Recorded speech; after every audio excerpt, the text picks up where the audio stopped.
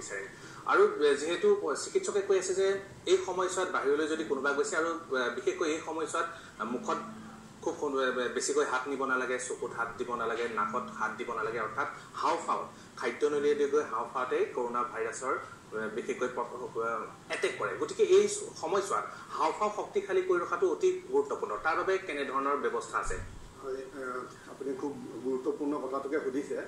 এইখিনিতে মই আমাৰ বাইদেউক শ্ৰদ্ধা জনাই আৰু লগতে আমাৰ যিহেতু ভাৰতৰ দুজন বিশেষ মানে আমাৰ গুৰু শ্ৰী শ্ৰী ৰবিশংকৰ আৰু তেখেতক মই শ্ৰদ্ধা জনাইছোঁ আৰু বিশেষকৈ স্বামী ৰামদেৱজী যিহেতু মই ফ'ল' কৰোঁ তেখেতৰ লগত মোৰ কিছু বেলেগ হ'ব কিন্তু বেছিক কথাটো একে হয়।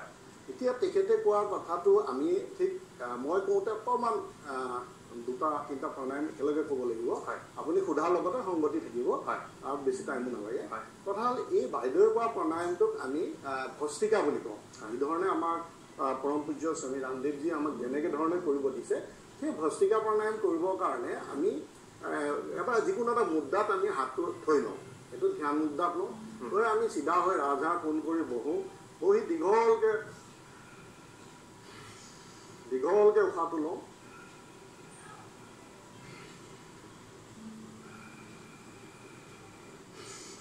দীঘলকৈ যিমান দীঘলকৈ পাৰোঁ সিমান দীঘলকৈ লওঁ। যিমান দীঘলকৈ পাৰোঁ সিমান এৰি দিওঁ।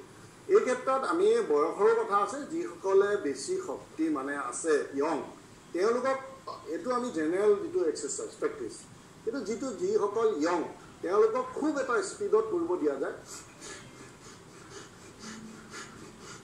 সেইটো আমাক নালাগে। যি কি নহওক এতিয়া আপুনি যিটো প্ৰশ্ন কৰিছিল তাৰ লগত ইয়াৰ সম্পূৰ্ণ মানে সম্পৰ্ক আছে। যিহেতু আমি এই ভস্ত্ৰিকা প্ৰাণায়াম কৰোঁতে আমি হাওঁফাওঁৰ ওপৰত হাওঁফাওঁ কেন্দ্ৰিক এই প্ৰাণায়াম। যিহেতু এই হাওঁফাওঁক এনে সাধাৰণ অৱস্থাত আমি যিখিনি উশাহ লওঁ তেতিয়া হাওঁফাওঁ যিখিনি কোষ থাকে যিখিনি কোষে বায়ুমণ্ডলত আমি বায়ুটো নাকৰ ভিতৰেদি লোৱাৰ লগে লগে যিটো বায়ুমণ্ডলৰ অক্সিজেনটো ধৰি ৰাখে আৰু তেজলৈ দি দিয়ে। সেই সেই প্ৰক্ৰিয়াটো স্বাভাৱিক অৱস্থাত আমাৰ ধৰক হাওঁফাওঁ যিমান কোষ আছে তাৰ ওৱান ফ'ৰ্থহে ব্যৱহৃত হয়। বাকীখিনি নিষ্ক্ৰিয় হৈ থাকে। কিন্তু এই যেতিয়া আমি ভস্ত্ৰিকা প্ৰাণায়ামটো কৰিম তেতিয়া তাৰমানে হাওঁফাওঁ কোষবিলাকৰ সম্পূৰ্ণ কোষবিলাকলৈ এই অক্সিজেনটো যায়। যোৱাৰ ফলত কি হয় ই অক্সিজেনটো শৰীৰলৈ পঠাই দিয়ে। শৰীৰলৈ পঠাই দি ই আমাৰ চেলবোৰত গৈ সেই হাওঁফাওঁৰ কোষবোৰ শক্তিশালীটো কৰিলে।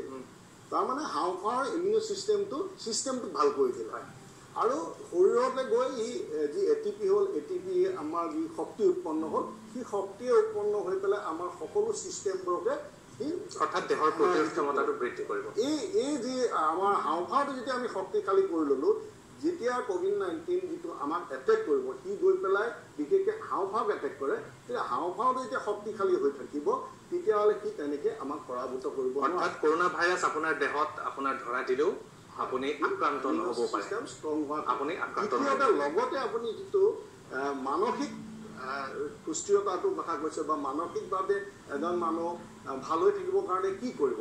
প্ৰাণায়ামত এইটো খুব ভাল আৰু ইনষ্টেণ্ট বেনিফিট পোৱা। আপোনাৰ মাথাটো যদি বিষাই আছে কিবা কাৰণত যদি আনইজি ফিল কৰিছে তেনেহ'লে অনুলম বিলম কৰিব পাৰে। অনুলম বিলম খুব সহজ আৰু মই এবাৰ দুবাৰ দেখা দিছোঁ। আপুনি সোঁ নাকটো বন্ধ কৰি বাওঁ নাকেৰে দীঘলকৈ উশাহটো ল'লে আকৌ বাওঁ নাক বন্ধ কৰি সোঁ নাকেৰে উলিয়াই দিলে আকৌ সোঁ নাকে দীঘলকৈ উশাহটো ল'লে আৰু বাওঁ নাকেৰে উলিয়াই দিলে। এই এই প্ৰক্ৰিয়া কৰাৰ লগে লগে আমি আমাৰ মস্তিষ্কৰ গোটেই চেলবোৰক এটা এক্সাৰচাইজ দিয়া হয়। আৰু ইয়াৰ জৰিয়তে বিভিন্ন উপকাৰ শৰীৰত হয়। কিন্তু মানসিকভাৱে ইমিডিয়েট আপুনি যদি মূৰটো বিষাই আছে আপুনি তেনেকৈ ইমিডিয়েট ৰিলিফ পায়। আৰু লং টাৰ্ম আপোনাৰ বহুতো আছে। সময়ৰ। অভাৱ হয়তো কেতিয়াবা আলোচনা হয় নিশ্চিতভাৱে পংকজ পাঠক